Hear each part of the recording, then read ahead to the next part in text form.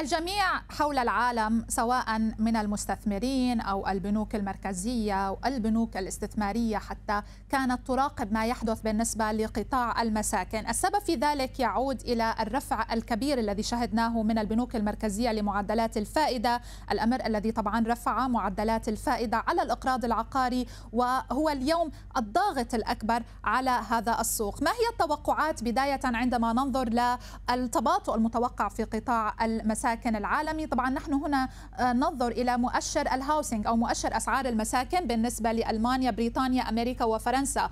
وفي هذه النقطة هي نقطة التوقعات للعامين 2023 و2024 التوقعات بأنه سيكون لدينا تباطؤ كبير. هو التباطؤ الأقوى بالعودة حتى سنوات الأزمة المالية العالمية 2007 و2008 بعض الدول حتى ستدخل في انكماش بحكم أن مؤشر الأسعار سيتراجع حتى دون نطاق الصفر تحديدا بالنسبة لألمانيا وبالنسبة لبريطانيا.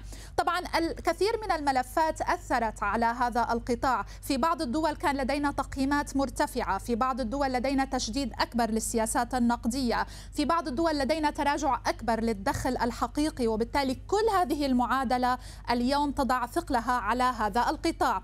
ولكن ماذا عن الافوردابيلتي أو آه، قدرة المشترين على تحمل هذه الأسعار المرتفعة. نحن هنا ننظر إلى مؤشر سعر المسكن إلى الدخل ونلاحظ بأنه في الآونة الأخيرة كان هذا المؤشر في صعود مضطرد. وتحديدا عندما ننظر للولايات المتحدة الأمريكية مثلا هنا في هذا الخط الأحمر هذا الصعود هو عمليا آه، الأقوى بالعودة أيضا حتى سنوات الأزمة المالية العالمية. والسبب في ذلك يعود إلى عاملين. أولا بالنسبة لبعض الدول وتحديدا بالنسبة لأمريكا كان لدينا تقييمات أعلى بالنسبة للمساكن وبالنسبة لبعض الدول الأخرى كان لدينا تراجع في الدخل وخصوصا إذا ما نظرنا للدخل الحقيقي أو الريل إنكم الذي يستبعد معدلات التضخم. وبالتالي هذا أثر على ما يعرف بالأفوردابيلتي وزاد من الضغط على قطاع المساكن.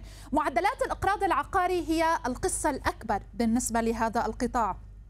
خصوصا إذا ما نظرنا لهذا المعدل بالنسبة للولايات المتحدة الأمريكية وصل لمستويات السبعة في المئة. هذا المستوى هو يتجاوز حتى فيما وصلنا له في سنوات الأزمة المالية العالمية وأيضا هو ضعف ما شهدناه في العام الماضي. حتى بالنسبة لبريطانيا حتى بالنسبة لمنطقة اليورو كان لدينا هذا الارتفاع في معدل الرهن أو القر...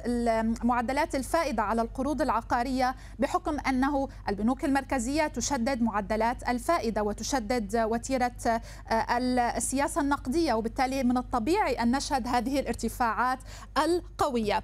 السؤال اليوم الذي يطرح نفسه هو إلى أي مدى ما قد نشهده بالنسبة لهذا القطاع قد يماثل ما شهدناه بالنسبة للعام 2007-2008 بداية الوضع مختلف سواء بالنسبة للبنوك لأن لديها آه، آه، آه، يعني capital adequacy أعلى سواء بالنسبة للمشترين لأن لديهم اليوم حقوق ملكية أو equity أكبر في المنازل بالمقارنة مع سنوات الأزمة المالية العالمية أو حتى إذا ما نظرنا إلى معيار أهم وهو الحجم القروض التي تعتمد على ال floating rate أو معدلات الفائدة المتحركة. اليوم هذه النسبة كانت في تراجع مضطرد تحديدا بالنسبة لأوروبا. هنا كانت في العام 2014 وكانت هي في تراجع مضطرد حتى العام 2022 وبالتالي اليوم بالنسبة لإيرلندا رومانيا إيطاليا كل هذه الدول شهدت تراجع كبير في معدلات الفائدة آه، المتحركة التي يتم الاعتماد عليها